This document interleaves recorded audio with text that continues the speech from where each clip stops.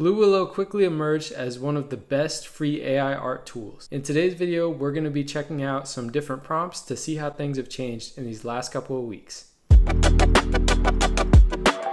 Okay, so let's go ahead and dive right into it. We're going to start with our first prompt. So to create an image in Blue Willow, here I have a private chat with the Blue Willow bot, but you can also use one of the rookie rooms in their public Discord.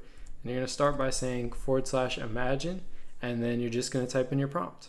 So for our first prompt, we have a 2D flat illustration of a man sitting at a computer, UI, UX, Behance, Dribbble, vector, 2D flat illustration, minimalist, simple, and dash dash AR3 colon 2, which all that is is setting the aspect ratio as 3 to 2.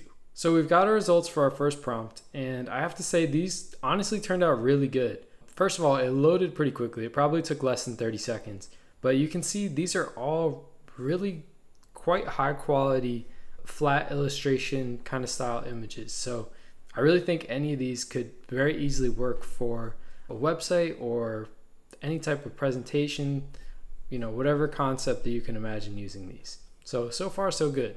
Let's dive into another prompt.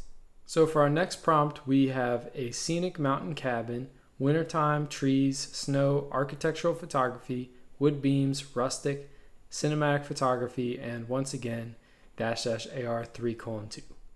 So here are our results for that second one, and I'm honestly really impressed. These are way more photorealistic than any of the previous versions of Blue Willow. You can see these all look really pretty high quality. Let me upscale one of these and uh, we'll take a look at it a little bit bigger.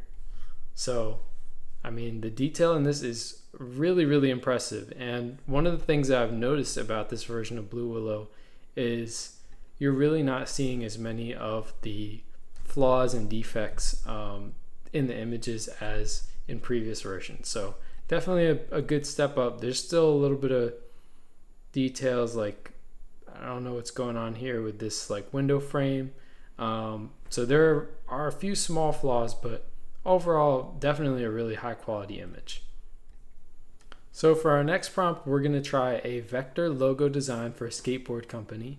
Skateboard, vector style, icon, colorful, Adobe Illustrator, illustration style, highly detailed. And I'm also going to add flat and 2D to this.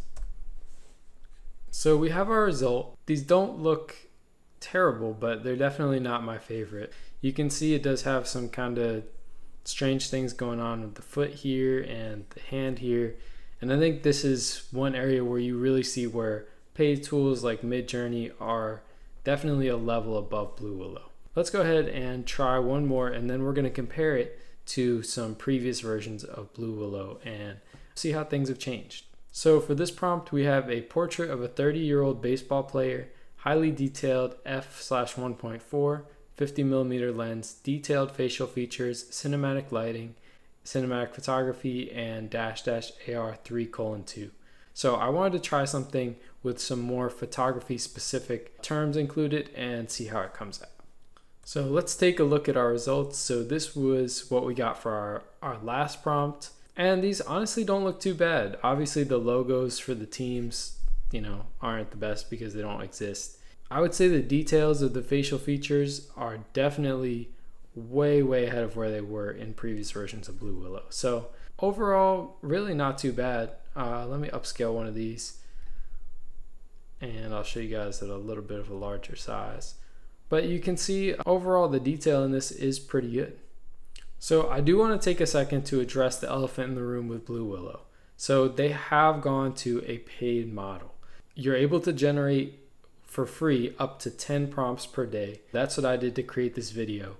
But they are now changing it to a paid model. So for more than 10 prompts a day and also access to version 4, which is their newest version that I think is still in beta mode, you're going to have to pay for that. So that is kind of the disadvantage of Blue Willow. Unfortunately, they're moving into that model. So you can see here $5 a month, 50 prompts a day, $10 a month, 100 prompts a day, and $20 a month, 200 prompts a day. So that is a big change that's happened with Blue Willow, and I definitely want to make sure to at least address that in this video. So now that we've tried out some new prompts and seen how they turned out, I want to compare things to previous version of Blue Willow and see how things have evolved over time. So I'm going to pull up some images from a previous video that I made and compare them to this most recent edition. So here's a prompt that I tried previously.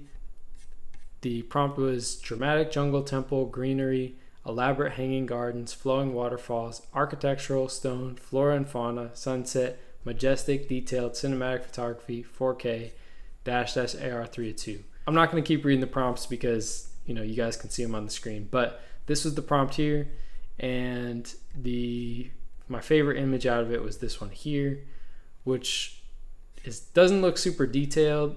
The quality of images has definitely gone up quite a bit, and they say that in this new paid version it's going to be even greater. But let's rerun this prompt and see what we get. So we've got our result. Once again, this is the before image and this is after. You can tell that the quality is way, way better. I really like these results, so let me upscale one of these and we'll take a look at it. So here's how it looks upscaled, and this looks really good. This honestly is on par with the quality of Midjourney probably from one or two versions ago, but these results look really, really nice, and you know, there's not really any obvious detail flaws in it. So these turned out really good. So let's go ahead and try one more out. And, you know, I just want to show you guys how much it has improved just since a few weeks ago when I made my previous video. So here's another image from the previous version. You can see there's a lot of facial features here that just don't really make this image feel realistic. And this was the prompt that we used right there. So we're going to try this one in this current edition of Blue Willow. Okay, so here's our result. And as you can see, things have really, really improved. All of these look pretty good. Let me upscale a couple just to check them out on a larger size. And that's a pretty quality image. Definitely a lot more realistic than the previous versions. There are still some flaws here with the eyes. Let's see how this one turned out. This one's a little bit better. So you know, overall, there's clearly a lot of improvement. Some of these details here with the shirt, I think that's where you really see the difference between the paid tools and the free tools. But I am excited to check out Blue Willow version 4. I'm considering subscribing to it. I'm not sure yet because I still use Midjourney a lot. But there's a lot of cool things to look out for with Blue Willow, and I definitely don't think it's a tool to discount, especially if you're looking for a paid plan. I made this whole video, sorry, for a free plan I made this whole video with the free plan. So 10 images a day can still get you some pretty cool results and it doesn't count your upscales against those 10 images. So thank you guys so much for watching this video. I really hope that you enjoyed it and if you did, please make sure to like this video and also subscribe to the channel for more awesome AI content. Thanks for watching.